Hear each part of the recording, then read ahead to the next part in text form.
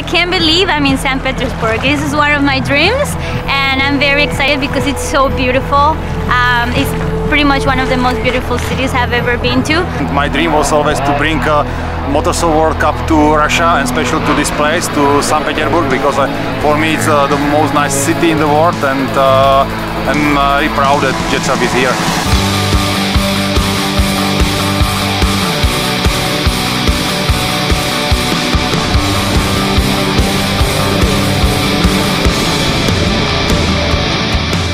St. Petersburg, Russia was at site of the second round of the MotoSurf World Cup 2017.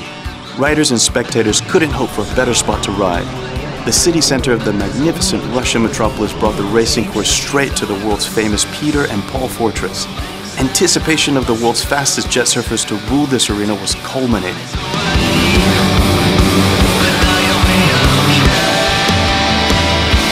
Prague Jet Surf Club is uh, the biggest and oldest team in all of jet surf. We, we put uh, ourselves together to have uh, some kind of common team uh, to train together and race together.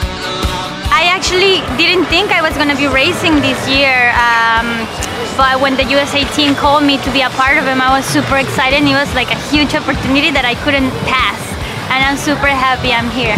I'm uh, racing for the first year for Jet Surf Factory team and it's really opportunity for me because I have the best teammates, Martin Shula and Jacob Gorfail.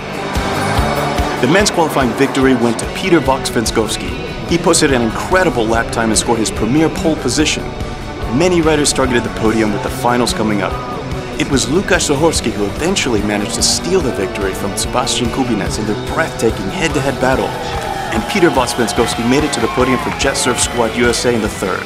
For me, it was one of the best races I've ever done for my uh, career, so I love that. I enjoyed the weather, I enjoyed all conditions, the water, the person who were here.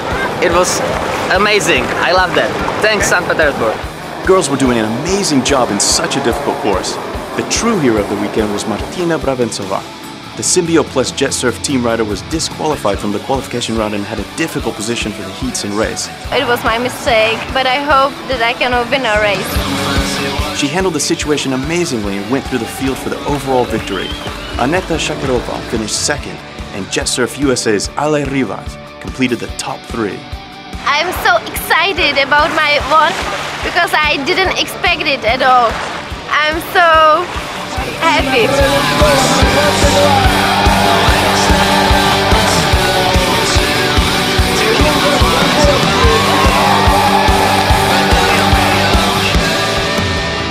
The action goes on.